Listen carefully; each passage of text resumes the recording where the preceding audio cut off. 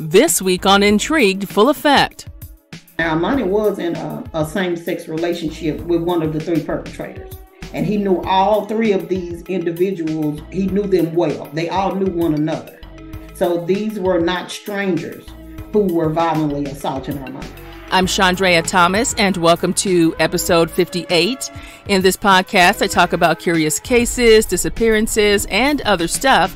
And today I'm talking about the disappearance and death of 27 year old Armani Morgan from Dallas, Texas. According to police, Armani vanished on June 3rd of 2017 and was quickly reported missing by family members who couldn't reach him later that day.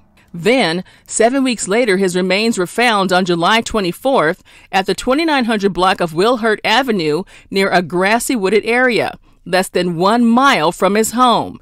Investigators say Armani was known to spend time in that area. I spoke to Armani's aunt, Robin Johnson, who says Armani was attacked, shot at, and stalked in the weeks and days leading up to his disappearance by three people two men and a woman.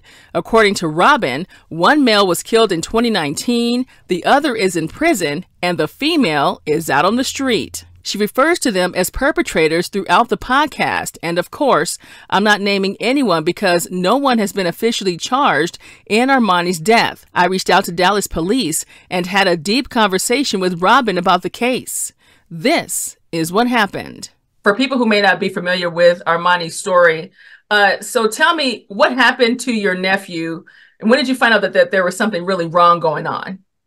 Uh, well, my youngest daughter, uh, who is a year older than Armani, uh, they uh, had a close bond. They were more like sister and brother versus first cousin.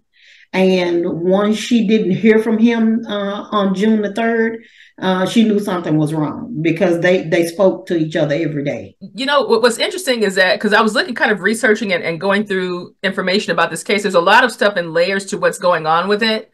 Mm-hmm. But but essentially, let's just kind of start from the beginning for those who may not know um, Armani's full story, and just just to be clear, so people understand. First off, let me say this: let's get to the stuff that um, everything that led to his disappearance, because people, you know, Armani Armani was gay, but yes. people there's some confusion about transgender versus he just liked to you know wear women's clothing here and there, right? That's correct. And that was the label, uh, that's the presumption that law enforcement and other um, uh, news article outlets, say for instance, like uh, Channel uh, Channel Eight News and uh, uh, Dallas Morning News, which was one of the major newspaper uh, sources here uh, in Dallas, Texas. They didn't reach out to me nor Armani's mom nor my daughter because my daughter was the one that um, uh, reported him missing. So if you if if you didn't want to check with my daughter who reported him missing, you didn't want to try to contact his mother to get an accurate story. You didn't want to contact me to get an accurate story because myself and my youngest daughter have always been the individuals who have spoken with uh, law enforcement and gone to the police department. So the fact that they didn't reach out to any of us to get the true facts about uh, his, you know, whether he identified as gay and versus them assuming that he was transgender because uh, he, he, was known to wear female clothing, uh, you know, quite often. You know, he would sometimes dress as a male in the daytime and dress as a female at night. Mm-hmm. You know, and, and interchange it. So it wasn't just him constantly wearing women clothing all the time. Mm-hmm. Now, you know, let's let's backtrack really quick. So let's backtrack to the date of June 3rd, 2017, you get a phone call from your daughter saying something is wrong. I haven't heard from Armani. We need to call the police, or what happened there? She actually had searched for Armani several days prior to her um, contacting, you know, letting it, uh, letting me know, should I say, because she did uh, let Armani's mom know. Okay, I hadn't heard from him. Have you heard from him? But my daughter actually tried to look for him on her own prior to reaching out to law enforcement and even to me. But prior to that, she had uh, asked Armani's mom, Have you heard from him today? And uh, she said no, because Armani's mom works in the home health field. Um, she does home health for uh, seniors. And uh, but leading up to that, uh, Armani had been violently assaulted by three uh, different perpetrators leading up to June the 3rd. Mm-hmm. And um, one particular perpetrator um, sought him out, hunted him down like an animal on three different occasions to, to violently assault him with the intent to cause him physical harm. And this particular person and one of the other uh, two perpetrators, or the two of the three perpetrators, uh, violently assaulted Armani on June the 3rd. And after that, he was never seen alive again. Mm-hmm. And so I think that's what we need to get into. It's kind of like the timeline of events leading up to Armani's disappearance. So, okay, let's establish what's happening here. So, leading up to his June 3rd disappearance in 2017, what do you guys know about the days leading up to that? What occurred? Starting the week of uh, May the 22nd of uh, 2017 is when um, one of the three perpetrators uh, began to um, search him out, hunt him down to uh, intentionally cause him physical harm. Now, Armani was in a, a same sex relationship with one of the three perpetrators, and he knew all three of these individuals, he knew them well. They all knew one another. So these were not strangers who were violently assaulting Armani. Um, the there was a female and two males. Here's a breakdown of the timeline of events. According to Robin, on May 22nd of 2017, Armani was attacked. Then the next week, on May 30th, that same person allegedly placed harassing calls to Armani to lure him out of his home. Then on May 31st, Robin says that Armani was shot at inside of his apartment and attacked at his front door. She also says the incident was captured on video, posted on Facebook, and given to police. Three days later, on June 3rd of 2017, Armani was assaulted again and vanished. Then, on July 24th, seven weeks later, his skeletal remains were found in the road on a residential street, and the remains were so decomposed, a cause of death was never fully determined. Each one of the assaults against him by this particular perpetrator, she always had somebody aiding her in violently assaulting Armani the week of May 22nd, they tracked Armani down um, at this uh, strip mall that had a smoke shop, a barbecue uh, place, and they cornered him there. And all three of them violently assaulted him that day.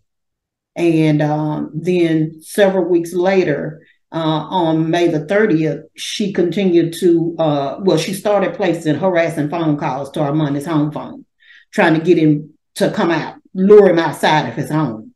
He wouldn't take the bait. So all of a sudden, a gun bullet pierces through Armani's uh, and his mother's living room window, and they live on the second floor.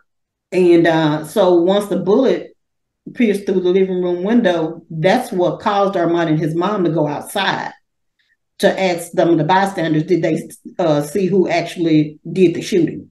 And none of the people stood out that were standing outside were willing to come forward because they were friends of this particular person that fired the, the bullet into the to the window.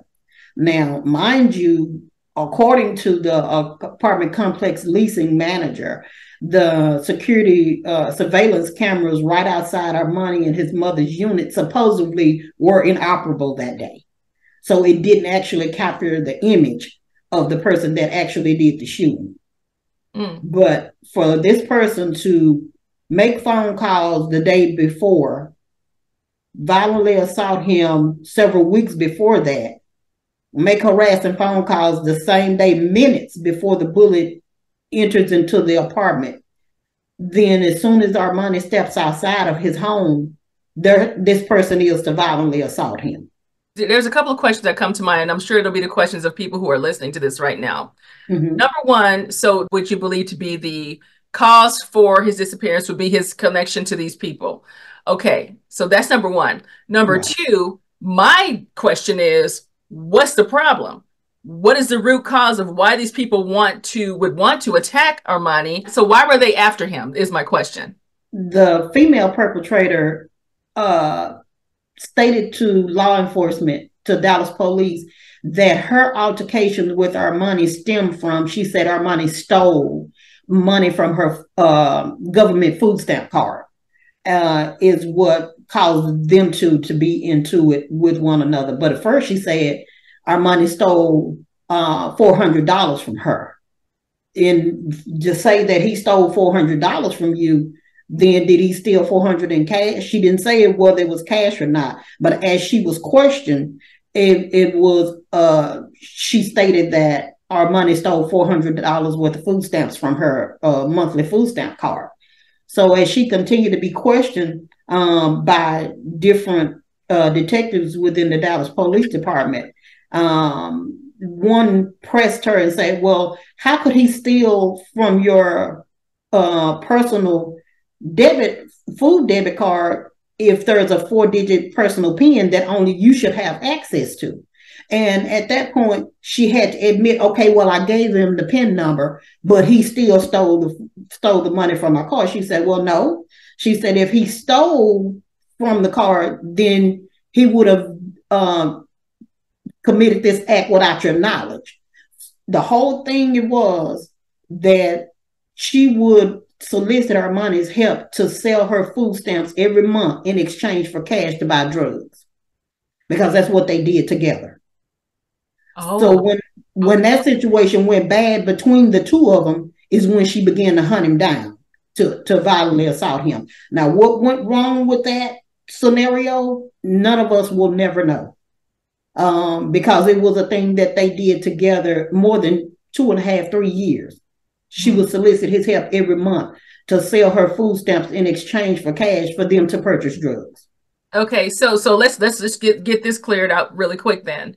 So if if Armani was involved with this, it's safe to assume that he was used he was a drug user with this lady. All three of them were. Yes, ma'am. Okay, okay. Just so people understand that that is the, the, the situation and the relationship they had. And it yes. would seem to me that four hundred dollars. I mean, I know four hundred dollars It depends on how you measure it as you know as yourself, but that seems to be not enough to want to, you know, take someone out. That's why I'm, you know, was there more than that going on there?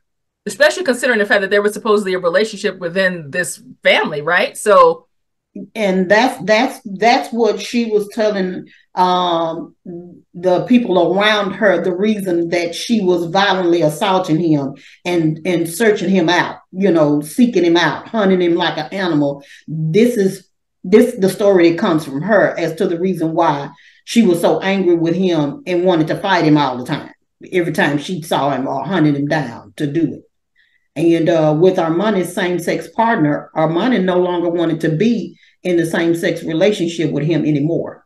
And that caused him to start violently assaulting Armani because Armani uh, no longer wanted to be in this relationship with him anymore. I reached out to Dallas police to get an update on the case and suspects, and it took a while to hear back. But I did get a response from their public information officer, Jesse Carr, and I'm told that the case is still under investigation. And that's pretty much all they had to say. The second of the three perpetrators aided this female in violently assaulting Armani. Um, now, this second person, he was a low level drug dealer in the community. Armani's same-sex partner was a low-level drug dealer in the community. So when they would, when Armani and this female would sell the food stamps in exchange for cash, these two low-level drug dealers would be the ones that they would purchase the drugs from. I want you to tell me about where these individuals are now, because from what I understand, one of them is no longer alive. One is in jail and one is not in jail, right? That's correct. The female is not in, in jail, has never been arrested.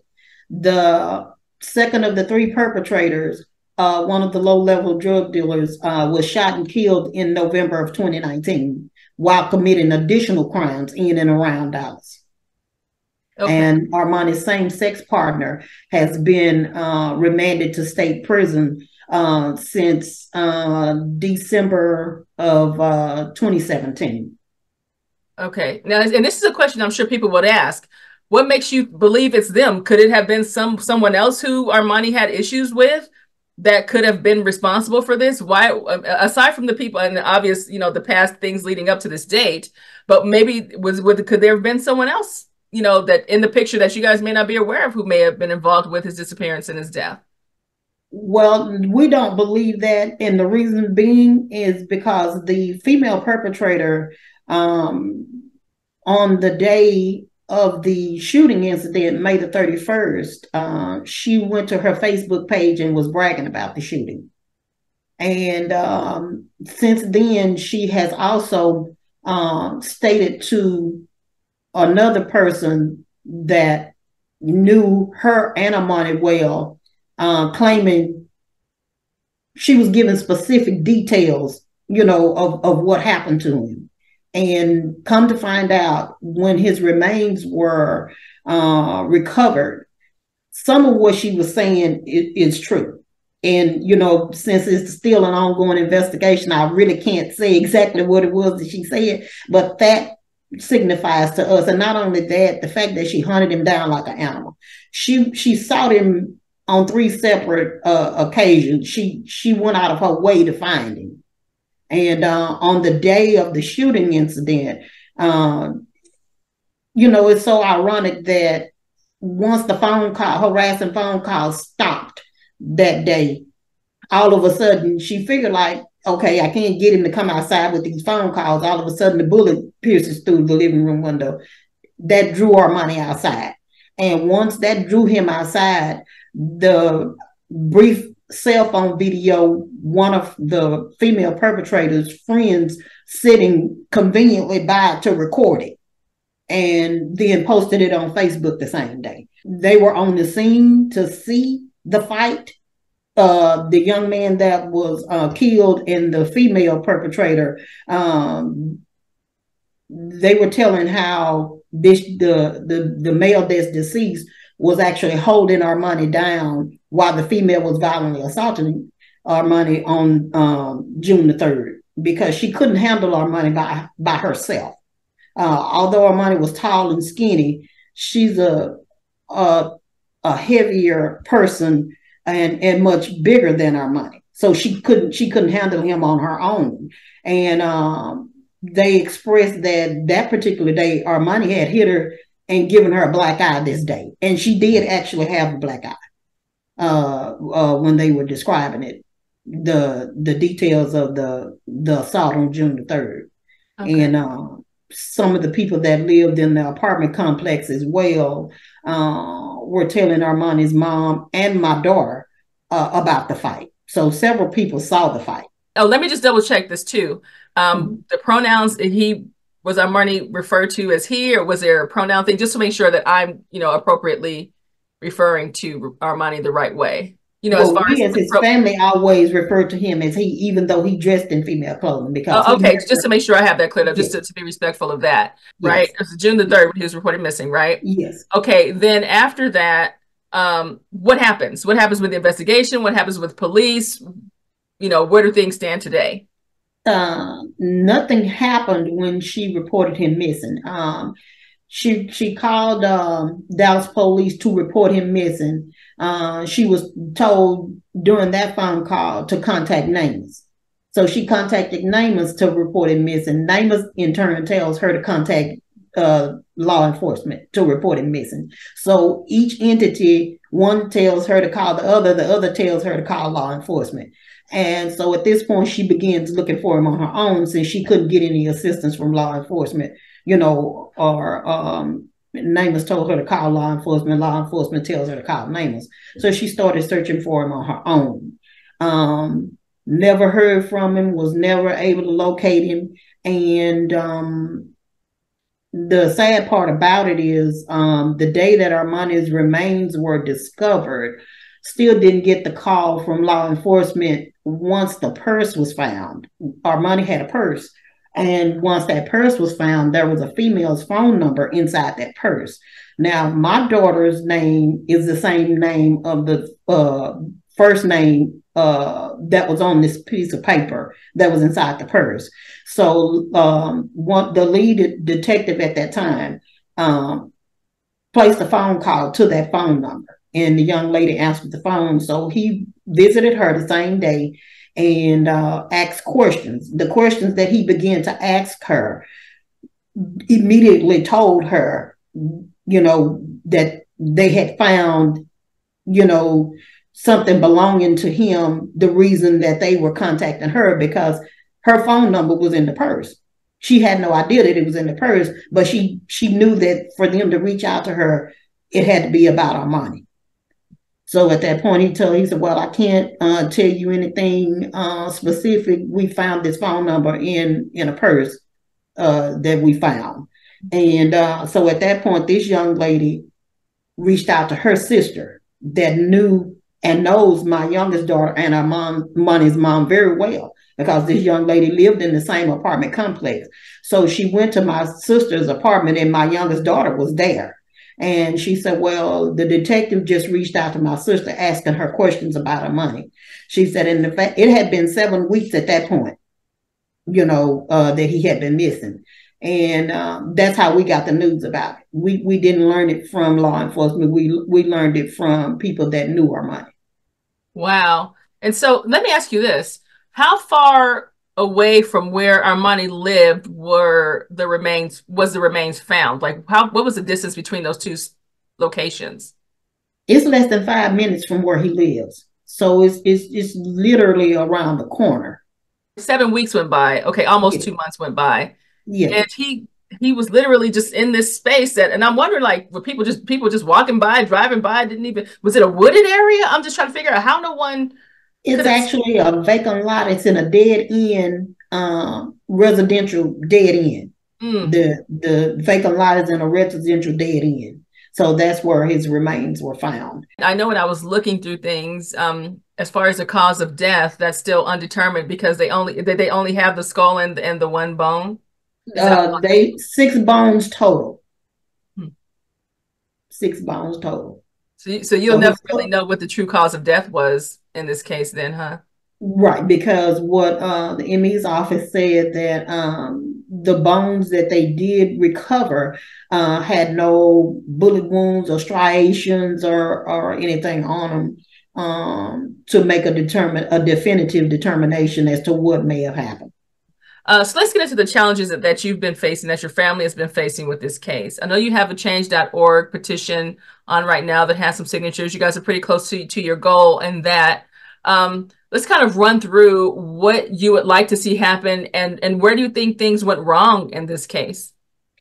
Where things went wrong, Armani's case was constantly pushed to the side at the expense of other cases. That's what went wrong. Bias and predetermined theory about Armani because he was gay and black, living in an impoverished neighborhood, raised by a financially single, uh, financially challenged single parent. You know, now, more than seven years after Armani's death, Robin says they launched a Change.org petition to bring more attention to the case. They're asking that the Texas Rangers and Attorney General's office do a review of the case. They also want Dallas police to conduct forensic ballistics testing on the bullet fired into Armani's home on May 31st of 2017. On top of that, they want a new and expanded search of the crime scene where Armani was found for more evidence. And one one of the biggest things would be to change Armani's cause of death from undetermined to homicide. Armani's mom um, raised him as a single parent. You know, Armani was a latchkey kid, and his mom has always worked. You know, uh, him growing up, and um, once he started hanging around uh, with certain uh, crowds, even in the sixth grade, you know, and by him being a latchkey kid and his mom being at work, uh, the people that he associated himself with. You know, he just decided he wanted to start trying to skip school and uh, do as he see other kids do that, you know, had single parents that really didn't care what they did and where they went. You know, but that wasn't the case with him. you know, he had people that cared about him. And uh, I was always on him uh, once I got wind of him deciding he wanted to try to skip school. And I was like, no, you know, that, that that's just not going to happen. So I stayed on him. Um, he about middle school, um, maybe the eighth, going into the ninth grade. Um, he just decided he just didn't give up, didn't want to go to school anymore.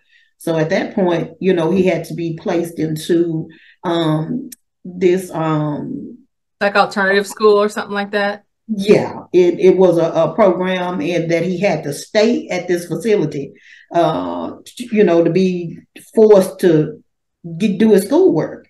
you know. And at some at one point, he he did tell my youngest daughter, "Well, I want to uh, come to stay with you guys." She said, "Well, you know how uh, my mama is. You know, uh, education. You're gonna have to go to school.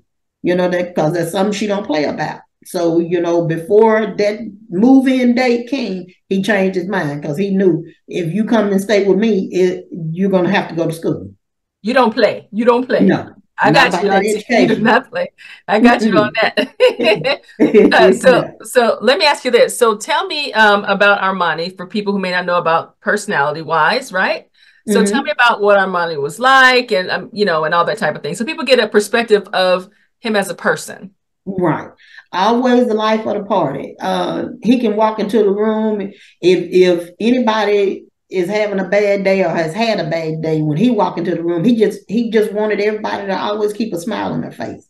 That laughing, dancing, you know, uh, he just always wanted everybody around him to be happy. He was an only child, you know, so anytime he was around family and who he thought were his friends. Well, did Armani have like any type of? I know he had a struggle. You know, he had the substance use struggles.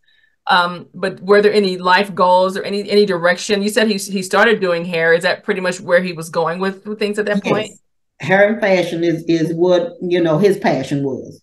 Okay. Um, and and he was pretty good at it. Mm-hmm. He was pretty good at it, and and I was hoping, you know, that that was a path that even though he decided he didn't want to sit in a school building, you know, I told him you could still, you know, get your GED and, and, and still pursue, you know, the hair. But as far as the impact on the family, um, how are you you guys dealing with all of this? What has been the, the impact? It has to be agony not having closure in the case. It is. Um, to see uh, the grief on his mom's face every day is what what drives me. It is what gets to me. Um, her son and only child, you know, it, it, it, that's a pain that I can't even imagine. And I, I don't even try, you know, to imagine how she feels. Um, to no longer have him, you know, around. And um, the bittersweet part of it is my oldest daughter and Armani share the same birthday. Mm. So when when uh, December the 19th roll, rolls around, you know, we we we just don't know how to really enjoy the moment while we still grieving him and still need to celebrate my daughter, you know, because she's still here. That that's something that we have to learn how to really get into and celebrate because it's not fair to her. You know, that we as a family can't celebrate her because we're still mourning, you know, the loss of Armani. Yeah. But to see the grief on his mom's face every day is is is a pain to me, you know, because it, it's something that um, she doesn't share, you know, how she really feels, but you can see it all over her face. Mm-hmm. You can see it all over her face, and that that's the painful part of it for me. What would you like to say to people who have been helping you, and what do you need right now? Uh, I need for uh, law enforcement to do their job to protect and serve. Armani's case hasn't been given the attention that it deserves. If his case is given the attention that it deserves, a lot of things will be uncovered. You know, do what you took the oath to do. you know, they do that. Basic 101 is going to uncover answers to, to his case. Just need that time and effort put into it just need that time and effort. And what I what I would ask anybody, um, the person and people who know something, please say something. That's that's we ask the public's help, and um, we will be eternally grateful. You know, because Armani's mother and our family deserve those answers. And what will you continue to do at this point? I mean, there's no search that's needed. So because because you know you've had you know time to to figure all of that out with Armani. But is there anything else that you want people to know about your family, the situation altogether? Well, I'm still um, pursuing it, actively pursuing it. Um, there was a, a detective actually uh, reassigned to Armani's case in July of 2023. So he's actively taken up where the two previous um, detectives with the Dallas Police Department where they failed because the things that I asked them to do, they told me, assured me they would do it, didn't do it. So now this detective is starting from scratch six years later. So he's behind the eight ball in even getting those basic things done. Armani's evidence in his case was never tested until this detective took over in July of 2023. Including the bullet? The, including the bullet and his clothing from the from the um from the crime scene. All right, well, Robin, thank you so much for talking with me today. And I'll definitely, you know, put this story together and do everything I can to get Armani story out there. And if anything else comes up, you never know what people will say things on the internet. You there's a video posted on the internet right before, right? So that's true. You never know what information we'll get, you know, in this particular case. And if it happens, I'll be the first one to give you a call for sure. And I certainly appreciate that you know it because in and one thing too i'm looking forward to going uh, to congress next year I'm, I'm going to congress about his case next year most definitely that's my main goal right. and that was the purpose too of the change.org petition to get congress and the state senate's attention uh, regarding his case there are no resources for families who are still seeking answers to cold cases and that's unfortunate. It's extremely unfortunate. When it comes to my final thoughts about this case, it's pretty clear that Armani was having issues with people that he was associated with, and his aunt believes that they could be responsible for his disappearance. And remember the gunshots at Armani's home that happened around the same time of his disappearance? Robin also says that Armani was assaulted just days before he vanished, and while the family has closure of knowing where Armani is now, they do need to know who's responsible for his disappearance and his death, and they want justice for their loved one. My number one question is who would have a motive to hurt Armani? Well, Robin says that it has something to do with some missing money and some food stamps. At the end of the day, this is a tragic story, and family members say to this day, Armani's cause of death is still listed as undetermined. If you have any information in this case, call Special Investigations Detective Michael Yerrick at 216 671 3677. If you have a case that you want me to check out, just visit me on the Intrigued Full Effect website or email me at intriguedfulleffect at hotmail.com. Until next time, be safe and stay true.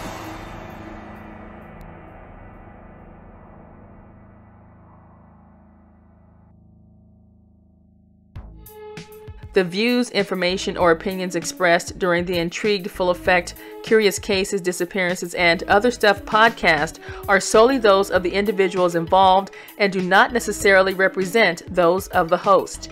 The primary purpose of this podcast is to educate and inform.